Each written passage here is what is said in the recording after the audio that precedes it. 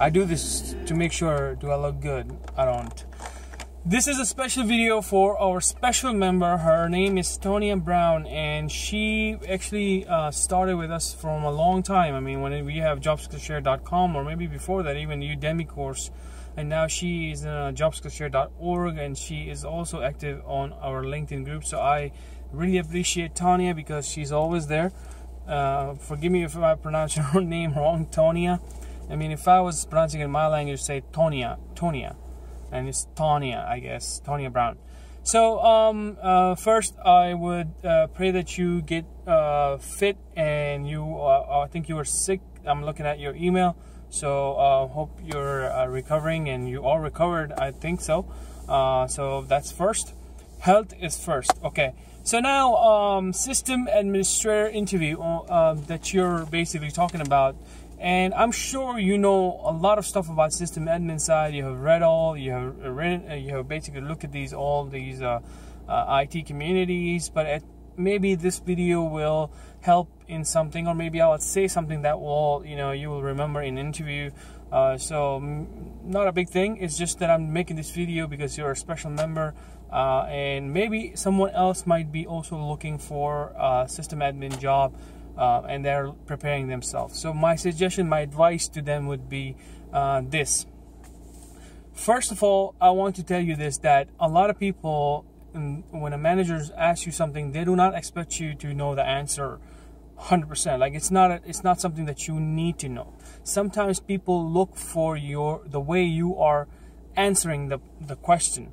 Um, do you at least know the basics? Kind of like that, and then you can just uh, give you answer depending on how technical the question is. So I'm pretty sure a lot of people these days in the trend that in interview that is right now is that people don't go into technical. Uh, uh, if it's an interview, I'm I'm assuming this is an entry level uh, system admin job, like you know you're just getting the system administration job, because I'm not going to talk about an expert level of system administrator because you wouldn't need this stuff. Trust me, you will not be talking about basic stuffs over here or uh, the confidence and stuff like that because let me explain that a little bit. I know I'm getting off a little bit the topic, but if people are looking for uh, some really advanced system engineer interview, uh, that person will be looking into advanced technical stuff uh, and of course some other questions behavioral and things like that your your attitude and stuff but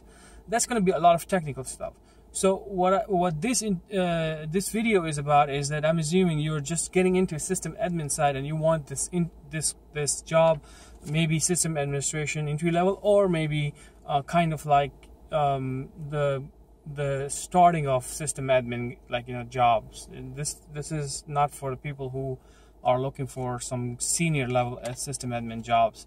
So a lot of people, when they ask for questions, they, they actually look for the process. Like, you know, nobody is expecting that you should know every single thing, but they are looking for the way you answer it. Did you even, like, you know, when you answer it, did you kind of touch the key points? So if I talk about Active Directory backups, Active Directory, something like that. If I say, you know, do you know anything on VMware or how, how would you restore something like, you know, if something goes down in a VMware, do you know how to restore it? So maybe you don't know exact pinpoint answer, but at least you should know and you should talk in a process where, yes, in a VMware we use this endpoints, whatever, whatever. We have snapshots and we can do this. So at least they know you're using these terms. So that determines that you know about VMware. So I, as an interviewer, instantly know if I am the technical guy, I would know that you at least know the terms. So, or if I would have said VMware and you just like totally you're just totally showing me something that you know am i asking something very strange?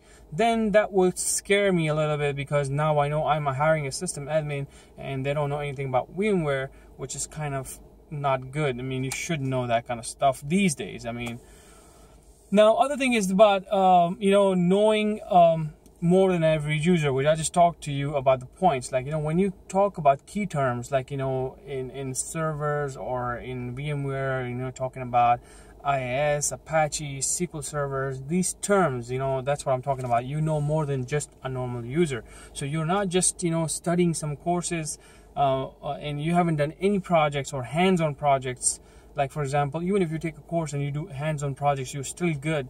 But there are people that would just go through get the certification and then they will go to interview and then they would get hit with you know something that is out of the course or there are different courses. They never touched it in their their uh, system uh, admin infrastructure course and stuff like that. They just talked about microsoft stuff and somebody threw something from outside of the microsoft that a lot of administrators use because that's their job uh, so uh, that's where I'm talking about knowing more than an average user.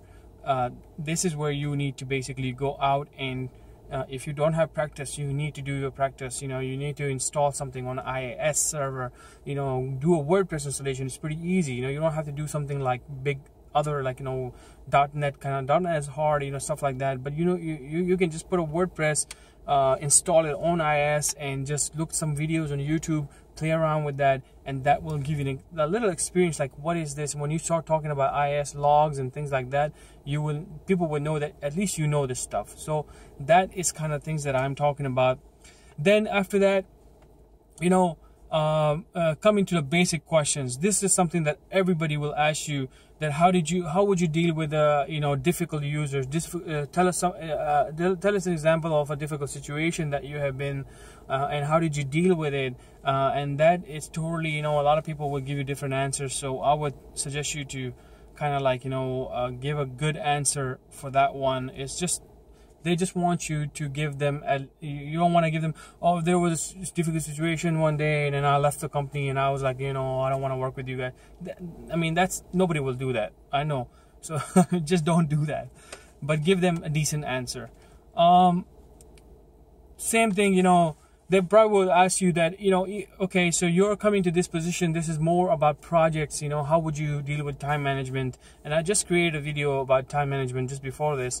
So you would probably want to discuss some some of the time management uh, tools that you use or some some of the task management tools like trello project management tools uh, jira and there's project management office pro office project uh, project there. So you probably would throw some tools out there that they know that first you know about this that in your mind that you're system administrator now you deal with users and time management all these things are important but you are also throwing tools in there. Tools are extremely important these days you know it's not about just uh, giving a good interview. It's about just telling them that look i am i'm i'm going out and i am putting my hands on these tools and i'm interested you know? So even if i'm not because uh, if these are entry level jobs nobody expects you to be an expert in these things. So you just give them like you know you you are eager to learn this and you are giving these tools names as a, as a person who is in IT when I listen from your mouth all these terms then I know that you are in, in it. You're you, you're like you know you're passionate about these things um, uh, and these are the things that will matter um, other thing that I would suggest you to uh, talk slow.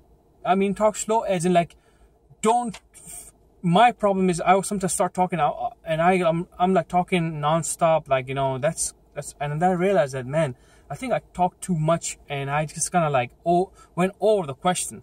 So if you have a question give it an answer give it's okay to go a little step ahead just to explain that answer a little bit more but talk slow and be calm you know that's one of the most important thing that you don't want to like be uh, if there are five people around you you should be confident enough just just look when people ask you the question the person asks you the question look at them in their eyes and move your head around. So then you're like active you're not just looking at one person. So move your head around and then slow answer meaning like be calm like you know give the calm. So that's where you're gonna that's where things are gonna come out really good from your mouth i mean then sometimes you will start talking things and you will just like oh that did not make sense because you were talking too fast and that's why you were uh, not focusing. So, summarizing these things for you, Tanya, I, wish you good luck. Be confident. Um, even if you think that you're a female in this industry, that gives you an advantage also because a lot of companies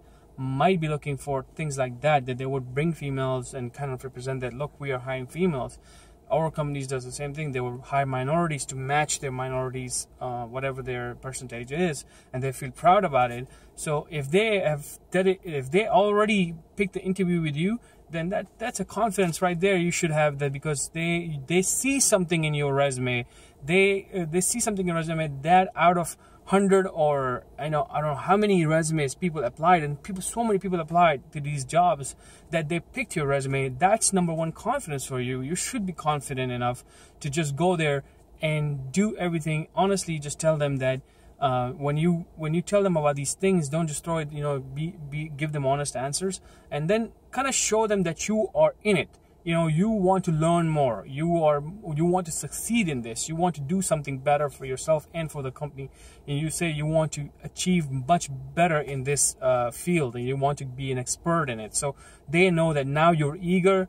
They know they have resources and they know that you want to get trained. That's the main important thing for them. Other than that every company has a different solutions. I mean, if I, as a system admin, if I have a person I, uh, being in IT support for so long, if I go to a company right now and and say, you know what, that's a support job. Yes, I will be confident enough for, about my job and my abilities.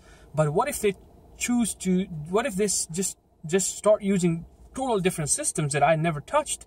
I'm gonna be. I'm a human. I am going to get confused, but you still have to have this thing in your mind, that IT mind that I always talk to you guys, that you need to unlock your IT side of your mind, that that's another human being. They made it. They they if other people can do it, then you can do it, and I'm sure you can do it. So I wish you good luck. Uh, I'm sure this this video you might have heard these things over and over again, but uh, you know maybe sometimes when I talk and you listen to me, it will be more effective in your interview. So good luck, and I'll see you guys in a different video. Thank you.